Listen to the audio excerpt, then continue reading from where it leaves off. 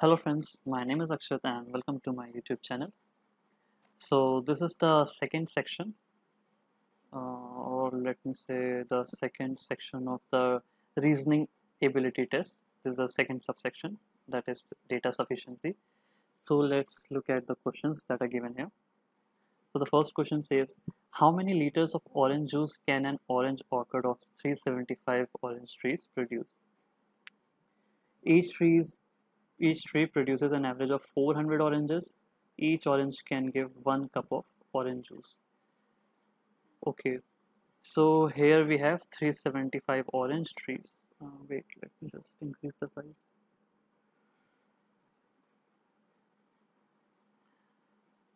So according to the first equation, uh, it's saying each tree produces an average of 400 oranges. So we can simply say 400 into 375 so this, this will give us the maximum of uh, that is total. These number of oranges are there. According to the second argument it's saying each orange can give one cup of orange juice. Okay so there would be total of one uh, one lakh fifty thousand cup of orange juice. But there's no nowhere says that how many liters are actually it's producing. So the answer would be the correct answer for this would be 4 since we have to mark 4 as the answer. If question cannot be answered even by using both statements together. Okay so let's go to the second question. Here it's saying there are three consecutive integers x y and z and are not in necessarily in that order.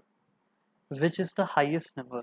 So basically what we have to do we have to find the highest number among these three numbers so according to the first it's given average of x and y is said so what it means x plus y whole divided by 2 this is basically the first equation is saying so if this is given then we definitely know that uh, that z is in between of x and y z can be equal to them also. If suppose uh, the value of x and y is 2 and 2 then z would also be 2 but suppose if the value of x is 1 and y is 3 then the value of z also be 2 then it will lie in between. So either it will be in between or these three would be equal. Okay. So we cannot say which is the uh, highest number among these three so let's go to the second question. It's given x is greater than y. x is greater than y. Now we know to make the complete average, uh, if x is greater than y, then z will also be greater than y because then only the larger number and the smaller number divided by 2 would give the average number. So the highest number is x. So the for this particular question we need both the argument to know the correct option. So this would be the answer okay let's move on to the third question. So Mayani has rupees 4 in 50 paisa and 1 rupee coins. How many 50 paisa coins does she have? Okay so before starting this question let me tell you this have actually two contradict uh, two answers. Um, I don't know which one is exactly correct. I am just going with my intuition. I've considered with many other people and according to me that specific answer is correct but some are saying the other answer also.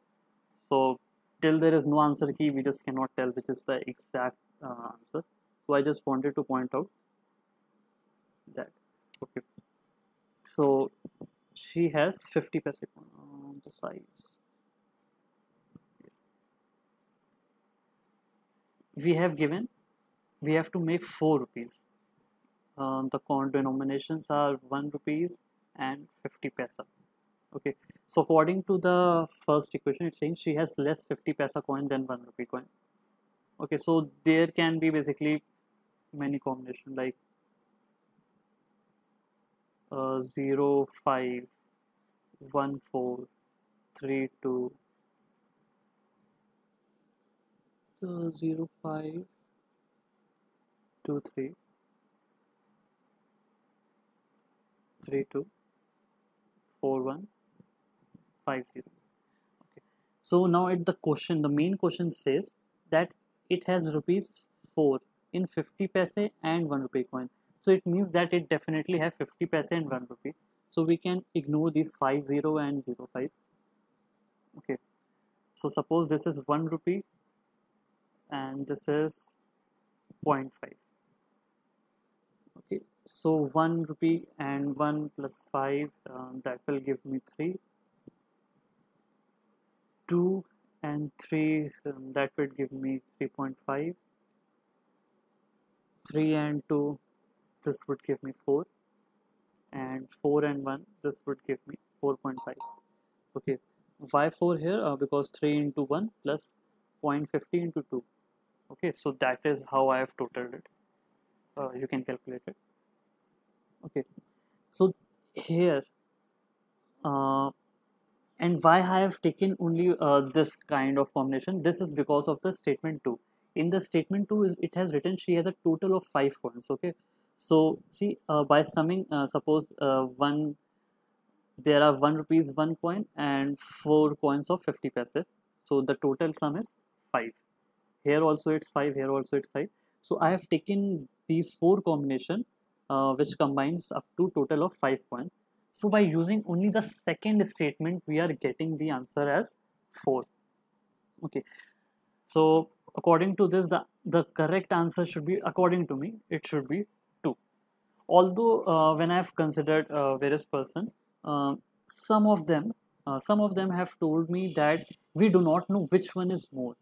Uh, we do not know whether 50 paisa coins are less or 1 rupee coins are less. We just don't know so they have answered they have actually answered the correct answer as 3 but according to my intuition and my uh, reasoning it just doesn't go with it.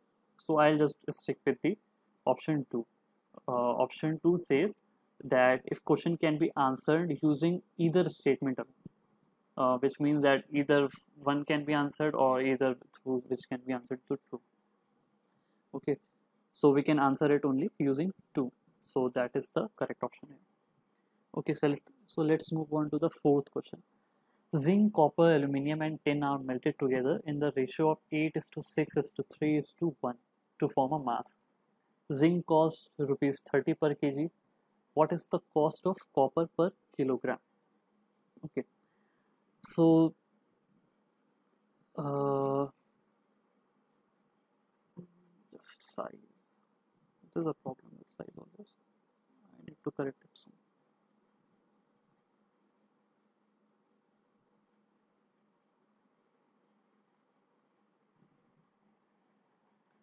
okay Z is to C is to A is to T. It's given at 8 is to 6 is to 3 is to 1 okay. Zinc cost rupees 30 cost of zinc is 30 per kg. Okay so according to the first equation uh, we have to actually find the cost of copper per kilogram uh, so let's leave move to the first argument. It's saying the cost of alloy is rupees 150 per kg. Okay 150 per kg. Mm, that actually don't help to in finding the cost of copper because we are getting the specific cost of alloy. And this ratio is uh, make notice make sure that you know that this ratio is of mass is not of the in how much uh, money this amount is distributed. It's not that ratio it's ratio of the mass. So suppose if you have not read this specific word correctly then you would uh, just total all the ratio and you would find the answer. And suppose for copper you will think that it should be the sum is 18 and for copper it's 6 so 6 by 18 into 150 so that that would actually provide you this is the this specific answer is about the mass okay?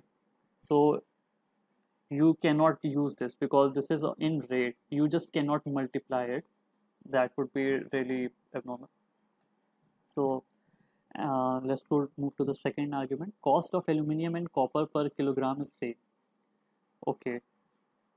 Uh, even if the cost of uh, aluminum and copper per kilogram is same we have got two values uh, c and a. We know these are equal. We know the value of z but we still don't know the value of 10 so this answer uh, so we cannot even answer this question. So the correct answer would be 4 and 4 stands for if the question cannot be answered even by using both statement together then just mark it as 4 okay. Is 200 uh, just move to the last question. Is 200 the wait